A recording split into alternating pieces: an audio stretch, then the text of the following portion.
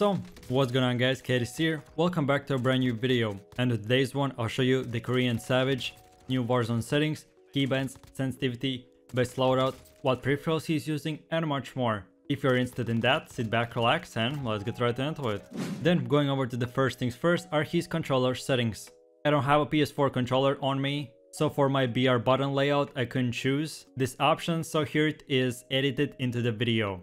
So for BR button layout, he's using stick and move flip. Stick layout preset is default, invert vertical lock is disabled and dead zone is 0.05. Horizontal and vertical stick sensitivity, both those are on 6. ADS sensitivity multiplier, low zoom is on 0.98 and ADS multiplier for high zoom is on 1.02. Aim response curve type is dynamic and controller vibrations are enabled. Then for his weapon settings, aim assist is on standard, scale aim assist with FOV is enabled, weapon mount activation is on ADS plus melee, weapon mount movement exit is on enabled, aim down sight behavior is on hold, equipment behavior is on hold as well, use slash reload behavior is on contextual tap, and depleted ammo weapon switch is enabled.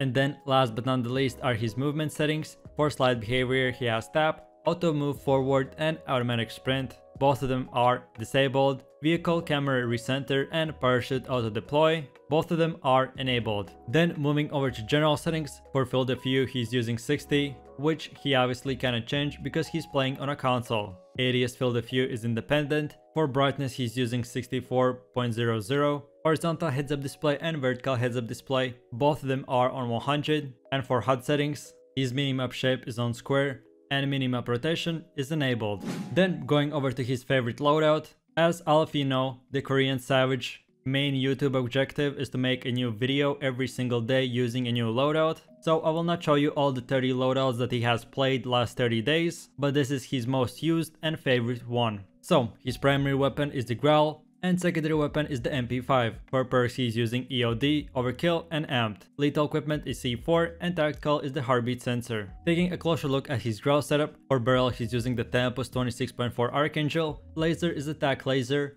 optic is the sniper scope, ammunition is 60 round magazine, and rear grip is the XRK Void 2. As I previously mentioned, he likes to make unique loadouts and experiment with them, but I would for sure not recommend to play and use them. In my personal opinion, you should use a single gun without the monolithic suppressor, but here it is. And then for his secondary weapon, he's using the MP5. For barrel, he has the monolithic integral suppressor. Stock is the FTAC collapsible. Under barrel is Merc's foregrip. Ammunition is 45 round magazine and rare grip is the granulated grip tape.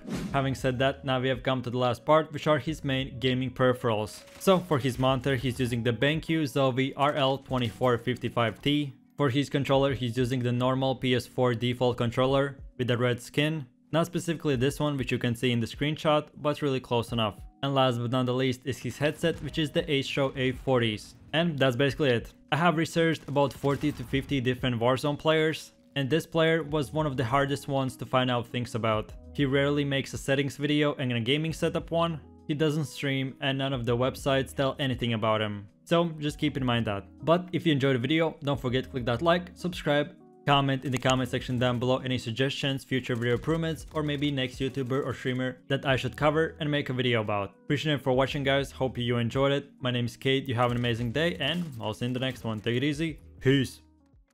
Yo, I ain't here for the money, I ain't here for the fame. Though it might be nice to own a jet plane, I'ma do it all for you.